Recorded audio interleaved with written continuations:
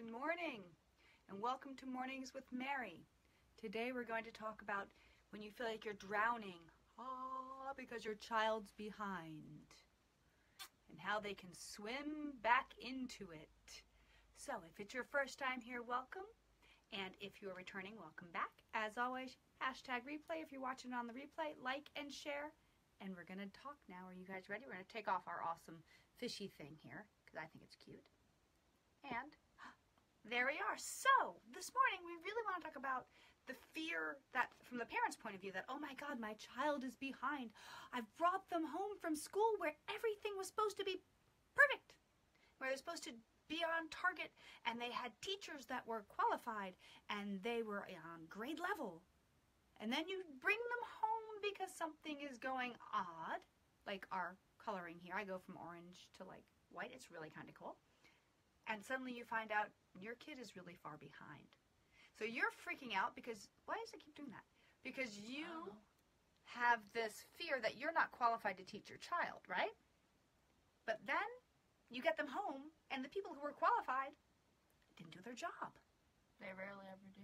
Yeah, well, they're trying to corral like 25 kids.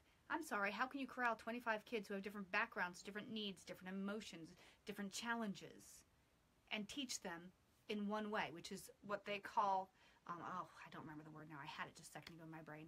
I have Benadryl hangover brain. So if I'm like lagging on words, please forgive me. I had like 90 milligrams of Benadryl yesterday Yeah. awesomeness.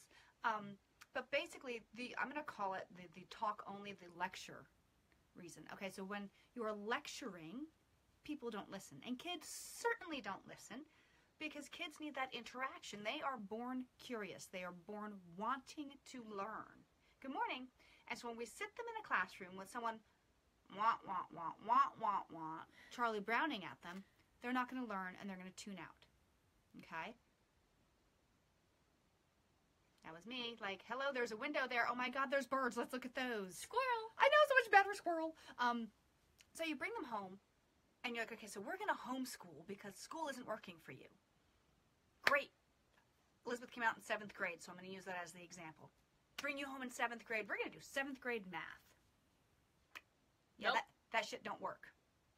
Okay. Took her three years, and we've talked about this before. Three years of deschooling. Three. I don't care what they say. It's a month per school year. No, that's a great guideline, but that didn't work for her. It's it's different for every child. All right. So Yeah. when she was finally ready to learn, she came to me at age 15 and said, "Mom, I'm finally ready to learn. I need some more structure." And I said, "Great. Let's go get you tested." So that we knew where she was. We we suspected she had some learning disabilities and stuff. So we went to a neuroeducational psychologist.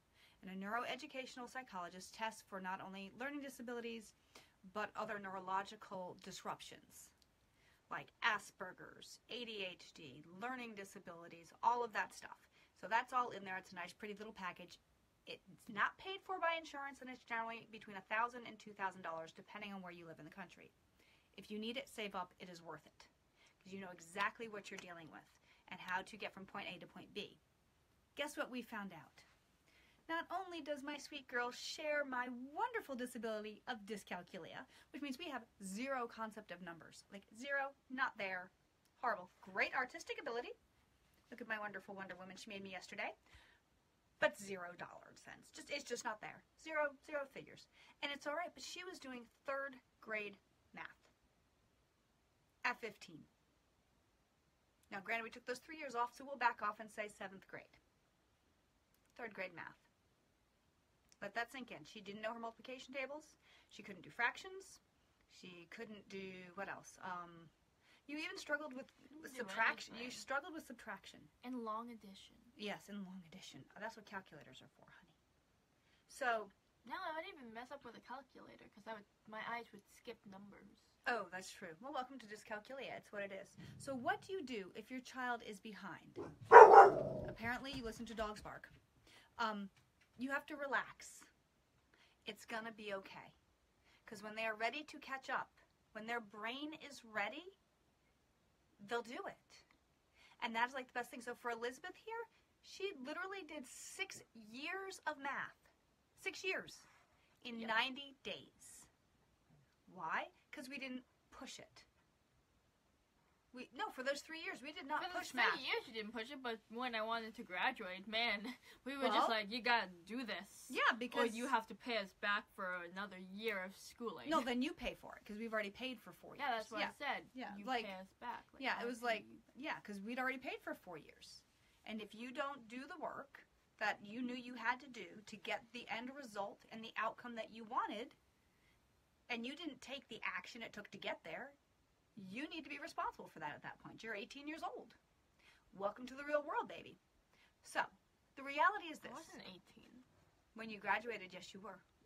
Yeah, but I was 17 when I had to do that. Yes, when you were yes, because you were going to be 18 upon completion. The next year, if you did not graduate that year, if you did not step up and Yeah. do what was required that you knew going into it, that you agreed to going into it, Yep. then you had to be responsible. Just what it is. That's the real world. So the gist of it is this is if your child is behind, don't freak out. Start where they are. Wherever they are. You're like getting your face half cut off. So, what can you do? Relax. Breathe. Give them an assessment test, but then do other things so that you know where they're coming from. Not everybody learns in a workbook. Not everybody learns from a textbook. Not every- everybody learns willy nilly. that's right. I mean, some people really need that structure. And for math, math is structure, whether you like it or not. But there are other ways you can learn it. You can learn it through manipulatives, you can learn it through song. YouTube is great for that. There are lots of different options that you have. If they're behind in reading comprehension, again, that's just practice. Sometimes, like if you have a retention retrieval problem, the ret- it's not going to be there. All right. So, in order to get that reading comprehension down pat, you have to read things that interest that child. Let them read whatever they want. I don't care if it's Captain Underpants. If they can comprehend what they're reading and tell it back to you, don't make them write it. Just have a conversation.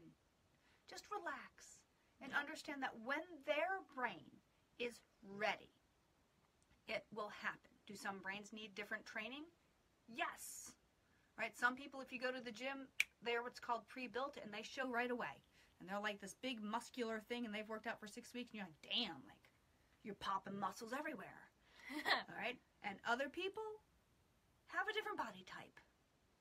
And they're never going to look like Arnold Schwarzenegger. Doesn't matter if they do the same workouts every day. But as long as they're healthy for them, that's what matters. And really that's the whole gist of this is work with your child where they are. Don't berate them. Don't worry about them being behind. They're behind what? They're behind some scale that some person who never taught, who probably doesn't even have kids or is disconnected from their kids, sat in an office in Washington and decided. Yep. Yep. That's what that's what they did. So take your child off the timeline. It's their timeline. Their reality, their place. and it won't be linear. No, it won't be. It's gonna be like bloop a doop a doop a doop a doop.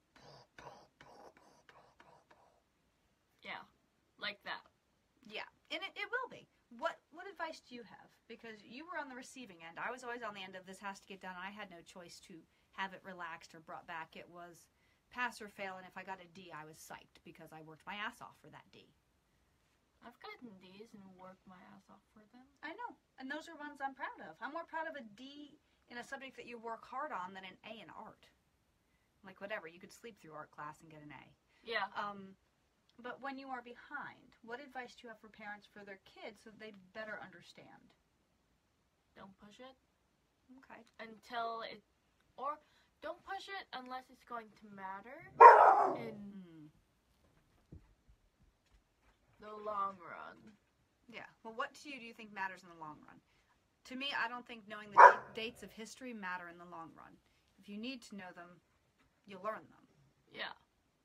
Something's at Sarah's door. Um, Maybe but Sarah's at Sarah's door. then she should open it. But what do you think really does matter in the long run? Knowing math, the four basic applications of math, Yeah. is important in the long run because now you like you're having to use it to create your line sheets to figure out wholesale prices for her artwork. Hello, indigochildshop.com. Um, but that's how you're using math. It's an actual application of it. Yeah. Um, of all the subjects that you had to take, which ones really apply to your life? Not social studies because I'm not a history teacher. And I don't plan on being one. I hate history. Uh, Probably basic math and reading. Yeah. Because those things you're going to use all the time, every day of your life. So find things that they're interested in. We do fractions for Sarah through through cooking. It doesn't have to be just a worksheet. All right, so we're going to wrap it up today because we obviously have barky bark dogs, and I'm Yeah. on Benadryl hangover, and she hasn't had enough coffee yet. Yeah. But if you guys have any questions about, oh my gosh, what do I do? Write them below. Let me know. Basically, just relax. They're going to get there when they get there. This isn't the Boston Marathon. And even those who run the Boston Marathon, not everybody comes in first. And really, that's okay. If it's your child's goal to come in first, then you ask how they need your support.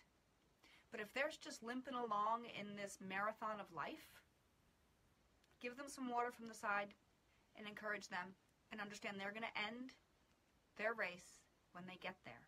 And whenever they get there is going to be right for them. Take off that timeline for other people. Because it's not everyone, it's your child. So, with that, I'm going to say adios. I will see you tomorrow morning. And it's another day of Mornings with Mary. Remember, hit like, hit share, hit heart. Go from there. Talk with you later. Bye bye.